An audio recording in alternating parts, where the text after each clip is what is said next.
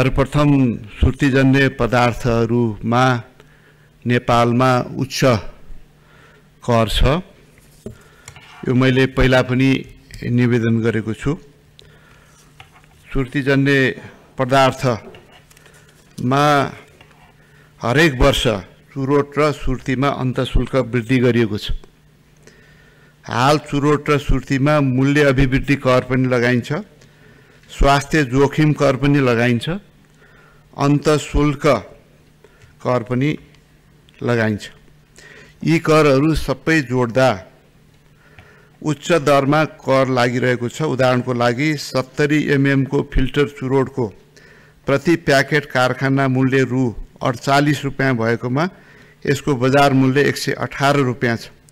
यसैमा, यसमा सबै कर गरी रु सत्तरी रुपियाँ कर लाग्छ, जुन कारखाना मूल्यको एक सय छयालिस प्रतिशत हुन्छ। कतिपय वाणिज्यहरूलाई यो बढेको मात्रै त्यति मात्रै करै त्यति रहेछ कि? भन्ने परेको छ। हरेक वर्ष बढिराखेको छ। त्यसमाथि विभिन्न करहरू भएको हुनाले उच्च कर नै लागेको छ।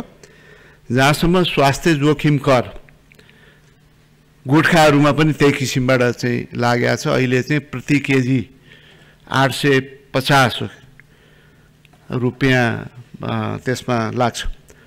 कर लगाइएको छ।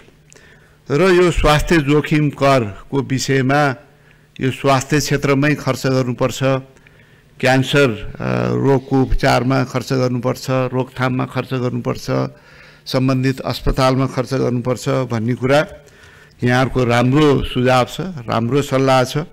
यो खर्च पनि भइराखेको छ। आखिर स्वास्थ्य क्षेत्रमा खालि यो स्वास्थ्य जोखिम कर मात्रै विनियोजन गरेर स्वास्थ्य क्षेत्रमा जुन लगानीको आवश्यकता छ त्यो पूर्ति हुँदैन। त्योभन्दा धेरै विनियोजन स्वास्थ्य क्षेत्रमा भइराखेको छ र अझ ज्यादा गर्ने हाम्रो इच्छा छ। तर अब स्रोतको सीमितताले र आवश्यकता अत्याधिक ज्यादा स्रोत चाहिँ सीमित भएको कारणले हामीले चाहे जस्तो अझ हामीले गर्न सकेका छैनौँ।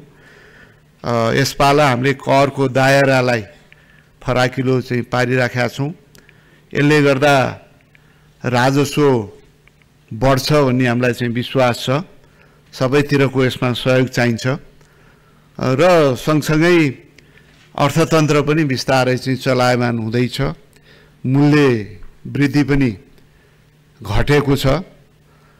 यो पछिल्लो समयभन्दा अहिले चाहिँ घटेको छ। र सकारात्मकतातर्फ अर्थतन्त्र बढेको छ। ब्याज दर पनि अलिकति त्यहाँ सहजता हुने बित्तिकै मलाई लाग्छ छप चलायमान हुन्छ। यसले चाहिँ राजस्व वृद्धि हुने चाहिँ प्रशस्त आधार यसले दिन्छ।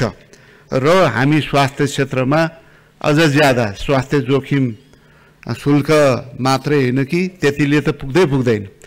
अरू धेरै विनियोजन गर्नुपर्ने आवश्यकता छ। त्यसतर्फ सरकार गम्भीरताका साथ लाग्छ। र चारजना मान्यज्यूहरूले देवेन्द्रजी लगायत मान्यज्यूहरूले राखेको जुन सुझाव छ त्यसलाई सहस्र